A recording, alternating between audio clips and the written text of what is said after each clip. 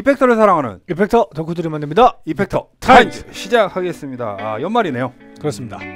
이 편이 나갈 때쯤이면 아직은 그래도 12월 초. 그렇습니다. 12월 초가 될 것 같고 2021년 물론 2020년에도 그랬지만 정말 많은 일들이 있었고 어 뭐 그래도 저희 버즈비 TV 예, 무탈하게 네, 잘 음, 온것 같습니다. 그렇습니다. 그리고 저희가 이제 연말에 이제 또 저희가 이제 베스트 기어 들을 선정을 해서 또 이제 선보여 드릴 예정이고 많은 기대 부탁드리고 시청하시는 모든 분들 연말에 어, 따뜻하게 어, 편안하게 아무 일 없이 잘 보내시길 어, 진심으로 어, 기원합니다. 오늘 만나볼 effector는요. 이 Walrus Audio의 limited edition Slötvå multi texture reverb. 제가 아까 이제 연말 얘기를 왜 했냐면 이 Walrus Audio가 항상 이 Black Friday 시즌에 맞춰서 이런 한정판 모델들을 쏟아냅니다. 예, 이 친구도 그 한정판 시리즈 중에 예, 일부고요. 이 특이한 점 뭐냐면 저희가 이제 알고 있었던 슬로, 어, 슬로의 이 기능을 조금 추가하고 어, 디자인을 바꾼 모델이기 때문에 어, 평소에 이제 슬로를 구입을 하려고 하셨던 분들 같은 경우는 잠깐 기다리셨다가 음, 이 친구를 한번 이렇게 구입을 하시는 게 어떨까 네, 라는 생각도 가져봅니다. Walrus Audio의 Slö는 많은 인기를 얻고 있는 Fathom과는 또 다른 컨셉의 multi texture reverb 페달로서 풍부하고 몽환적인 세 개의 reverb 알고리즘과 reverb에 적용될 세 개의 modulation의 조합으로 다양하고 독창적인 리버브 텍스처를 제공합니다. Walrus Audio의 새로운 National Park 시리즈의 Slötvå 모델은 기존 Slö 모델에 preset 기능이 추가된 한정판 모델입니다. 최초 레드, 그린, 블루 세 개의 onboard preset이 저장되어 있으며 두 개의 풋스위치를 동시에 눌러 preset을 순서대로 스크롤 할 수 있다라고 하네요. 일단 디자인을 보시면 저희가 이제 Black Friday limited edition 모델들을 한 번에 모아서 이 편보다 앞에 보여드릴지 뒤에 보이, 보여드릴지는 모르겠지만 싹 보여드릴 거예요. 네네. National Park 시리즈라고 해가지고 이 국립공원들 음, 전 세계에 있는 National Park들의 이 상징적인 음, 이미지를 이렇게 프린팅해서 어, 기존의 이 Walrus Audio가 약간 좀 dark한 그죠? 어, 그리고 약간 그로테스크한 일러스트가 적용이 됐었다면 좀 이렇게 느낌이 좀 밝아진 듯한 느낌이 있습니다. 저는 사실 이게 더 좋아요. 어, 밝은 그, 게. 예, 어, 그, 어. 러니까 뭐 Walrus의 디자인을 존중을 합니다만 어, 그 그런 느낌이 있는 것 같아요. 음. 그 다른 pedalboard 들이 이제 페달들이 올라있다가 네? Walrus가 갑자기 딱 올라오면 뭔가 뭔가 예언차 갑자기 어. 음, 약간 이런 느낌이 음. 있는데 이번 limited edition은 음. 정말 이뻐요. 음. 정말 이쁘고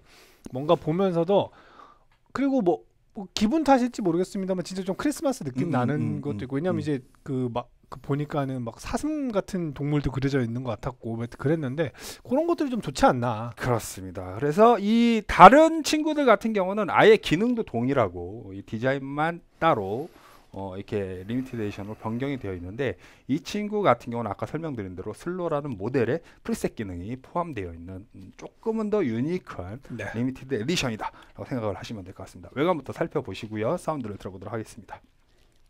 DK 리버브의 잔향을 조절합니다. filter reverb의 잔향의 톤을 dark에서 bright로 조절합니다. X knob 선택된 reverb 알고리즘에 따라 다르게 동작하고요. dark 모드에서는 1 옥타브 아래 시그널의 레벨을 조절하고 rise 모드에서는 reverb 시그널의 타임을 설정합니다. dream에서는 reverb 잔향에 적용되는 비브라토 효과의 양을 조절합니다. depth reverb 잔향에 적용되는 modulation 효과 양을 조절하고요. secondary function이 활성화되어 있을 때는 reverb 잔향에 적용되는 modulation 효과의 속도를 조절합니다. 알고리즘 토글 스위치 내장된 3개의 reverb 알고리즘 중에 한 개를 선택할 수 있고요. dark 모드 reverb 효과에 1옥타브 낮은 효과음을 추가합니다. rise cinematic한 auto swell reverb고요. dream 비브라토 효과가 가미된 풍부한 reverb입니다. 이 알고리즘 토글을 secondary function을 적용을 할 경우에 sine, warp, sink 세 개의 wave shape 중 하나를 선택할 수 있게 됩니다. preset을 저장을 하려면 footswitch 두 개를 동시에 눌러 이렇게 눌러서 저장하고자 하는 preset 위치로 이동한 다음에 knob을 원하는 값으로 조정을 하고 다시 두 개의 풋스위치를 누르고 LED가 깜빡일 때까지 hold하면 저장이 완료가 된다. 굉장히 간편하게 저장을 할 수가 있고요. secondary function을 활성화시키려면 페달이 켜져 있는 상태에서 바이패스 스위치를 누르고 있으면 음, secondary function이 활성화가 됩니다. 네. 일단 오늘 저희가 어떻게 들어볼 거냐면 factory preset 세 개를 먼저 한번 네. 들어보도록 할게요. 일단은 레드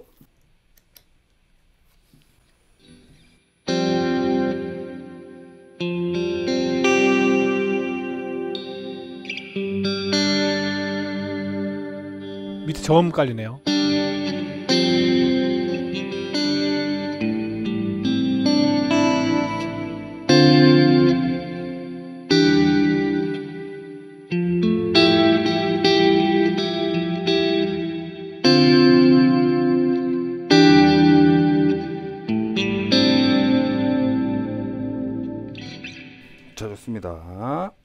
동시에 눌러서 음. 그린?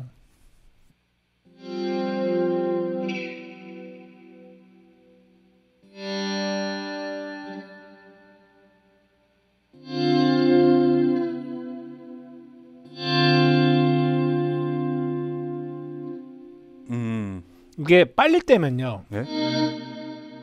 꺾이죠. 네. 근데 길게 누르고 있으면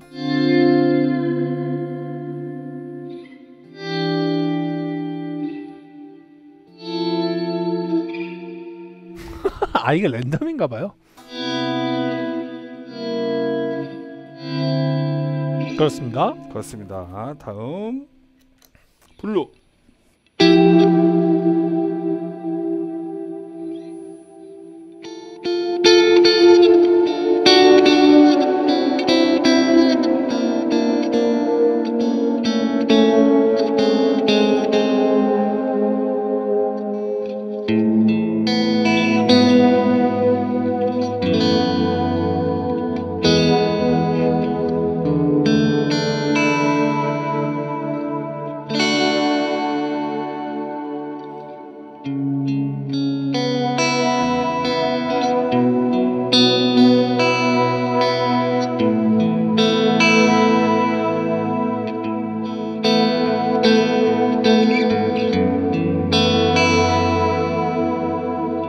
그렇습니다. 좋습니다. 저는 이 원래 저희가 이제 카드를 달아드릴게요. 그 Slö를 리뷰한 영상을 보시면 이 Slö의 사운드 Fathom과는 또 다른 매력을 갖춘 multi texture reverb 사운드를 가지고 있는데 이 친구 같은 경우에 가장 큰 장점이 뭐냐면 이 유저가 만든 preset을 어, 세개 저장을 해서 무대 위로 올라갈 수 있다는 거죠. 네. 이 ambient 사운드를 위시하는 연주자들이 가장 큰 고민 중에 하나라고 할 수가 있겠어요. 뭐냐면 톤을 잘 잡아놓고 이 preset 기능을 많이 쓴단 말이에요. 보통들. 그러니까 이 다른 연주자들도 마찬가지겠지만 이 ambient 사운드를 연주하는 연주자들 같은 경우에 자기가 공간계를 기가 막히게 만들어 놓고 그게 조금 이렇게 어딘가에 이제 저장이 돼 있고 빨리 불러오고 빨리 교체를 하면서 쓸 수 있기를 원하는데 그 니즈를 어, 잘 파악을 했다라고 생각을 하고 사운드는 뭐 저희가 익히 들어 알고 있는 그 Slö의 멋진 사운드가 연출이 되고 있습니다. 이 상태에서 저희가 토글 스위치와 노브들을 변경을 하면서 사운드의 변화를 좀 알아보도록 할게요. 네. 일단 다크 모드로 가고요. DK를 좀 많이 주고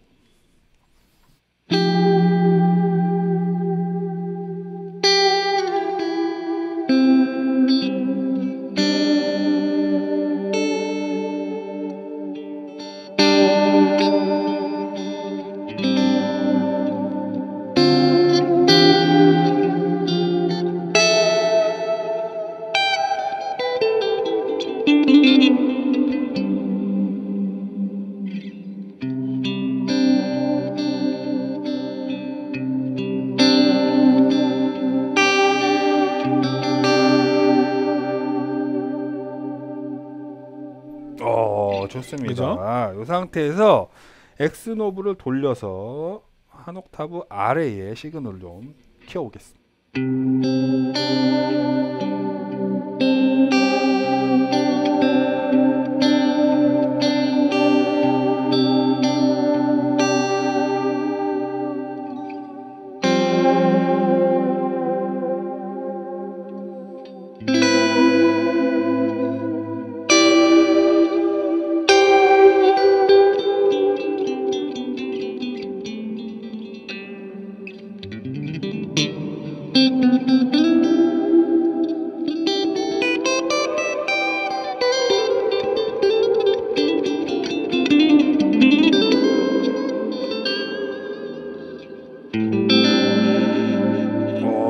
좋습니다. 다음은 라이즈.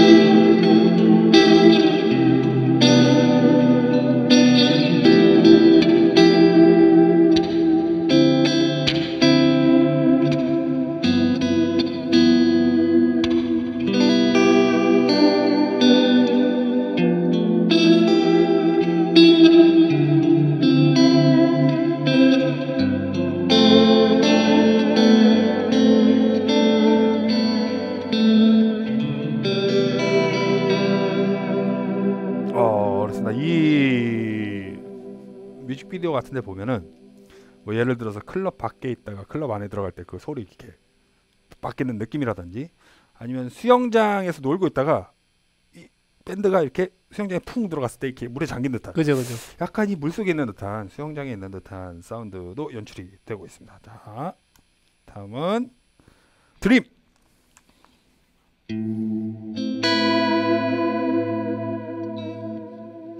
모듈레이션이 먹고 있죠.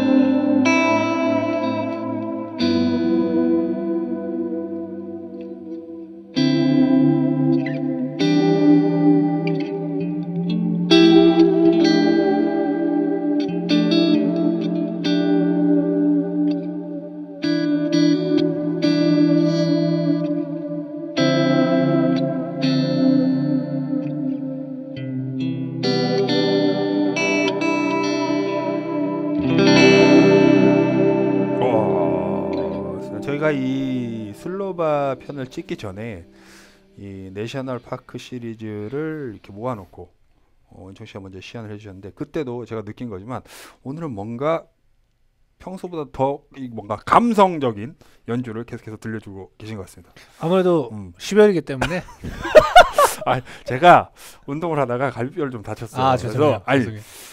웃을라 그래도 이렇게 크게 못 웃는 점 아. 네, 양해 부탁드리겠습니다. 이게 아파서 아 네. 어, 병원을 갔는데 이게 금이 갔다고 아홉 번째 갈비뼈에 음, 그 기분 너무 잘 알고 있죠. 저도 갈비뼈 부상을 많이 당해봤기 네. 때문에 아, 너무 잘 알고 있습니다. 그렇죠. 예, 그런 상황입니다. 그래서 이 다양한 사운드를 연출할 수가 있는 multi texture, reverb 페달 그리고 이 보통들 이 multi 스타일의 이 reverb 페달도 많이 있지만 이렇게 compact한 사이즈에 어, 조작도 쉽고 어, 어떤 연주자, 그러니까 초심자부터 처음 reverb 사운드를 접하는 초심자부터 음.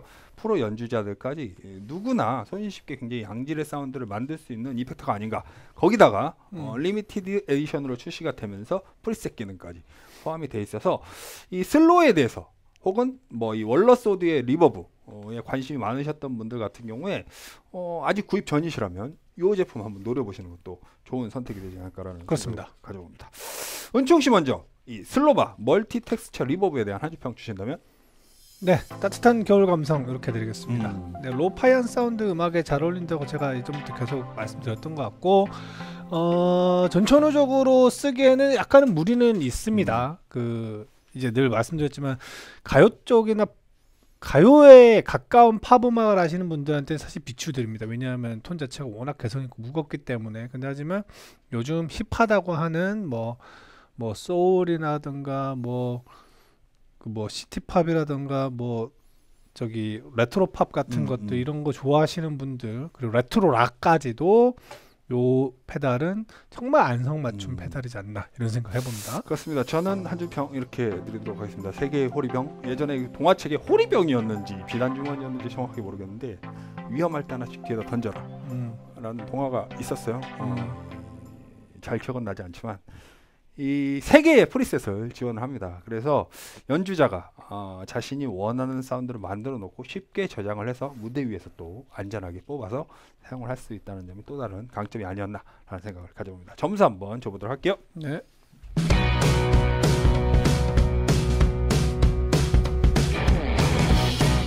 하나, 둘, 셋.